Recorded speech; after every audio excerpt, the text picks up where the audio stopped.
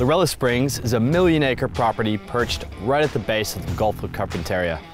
I've been up exploring the edge of this place, finding where the land meets the sea, but it's time now to head back south and explore the hinterland of Lorella Springs, the wild interior, which is kept alive by the creeks and streams that bring all the life to this place, human and animal. It's full of crocodiles, barramundi, mangrove jacks, there's bird life everywhere. So I'm looking forward to immersing myself in that dark interior and seeing a whole other side of this landscape.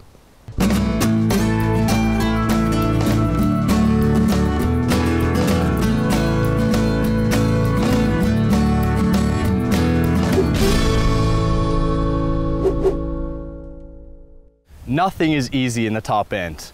The tides up here can be random, they shift all day long, and you never know what you're gonna get. And we seem to be a bit landlocked with the boat here, can't quite make it out to the mouth. So we're gonna load the boat up, which in itself is a Herculean feat, given there's no boat ramp here. It's gonna be a little bit interesting.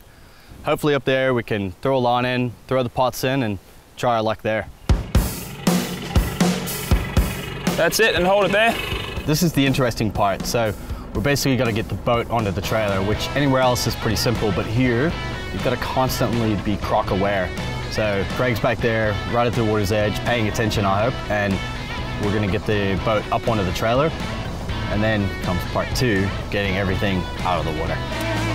Given the constant danger of crocs, I found the safest way to get your boat on the trailer around here is to get someone else to do it. Mate, surprisingly, that was the easy bit. We're still gonna get this whole assembly up the sandbank. It's pretty soft up there actually, so uh, we'll get the winch out, eh, and um, give it a go. Yep. I've learned a lot of lessons about winching over the years. Probably the biggest thing that I've changed recently is only using models that are waterproof. There's nothing worse than having a broken winch when you need it. This Bushranger Seal winch is perfect for a trip up here, where you're doing water crossings just about every day. The important thing with winching is always be safe, put a dampener on the winch and everything else, but also pick a good anchor point. Little trees do not work. You really need something solid like this. You're gonna be pulling a couple of ton or more on there. So I'm gonna put a tree protector on here. Not only does it protect the tree, but it gives me a solid place to anchor to, and it stops the winch having to wrap around and hook onto itself. That provides a breaking point there, which is not what you want when you're doing this. Now we're using synthetic rope here for the winch. It's 10 times safer than the old winch cable, and much better to work with, but we're still gonna throw a dampener on it because you never know what can happen out here and we wanna be as safe as we can. The driver should always be in control of the winch, but it does help to have someone spotting things well out of the way in case something starts to go wrong. I like to keep the wheels just spinning when I'm winching up soft sand. It helps to keep them on top of the sand and takes a bit of load off the winch motor as well. The trick is to balance things out so you don't put slack in the cable. She's clear of the ledge, mate. You're good.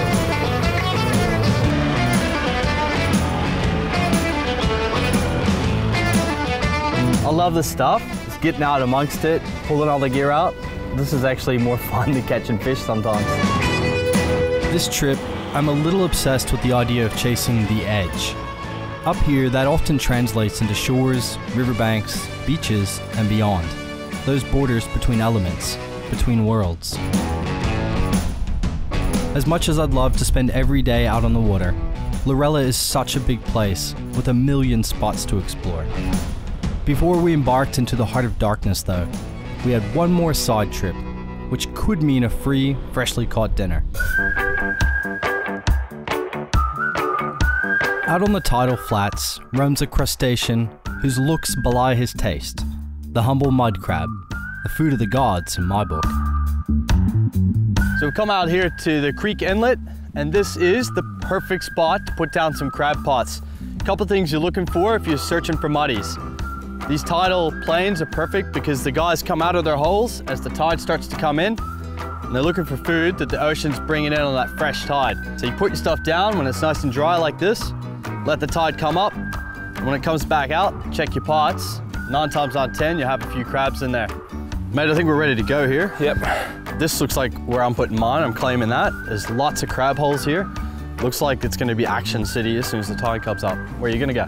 Uh, I think I'm going to put mine right there, so they have to go past my pot before they get to yours. What do you reckon about that? Sounds fair to me. All right, let's do it. The trick with potting mangrove flats is dropping your pots on dead low tide and coming back once the water has risen and dropped again, hopefully to collect dinner.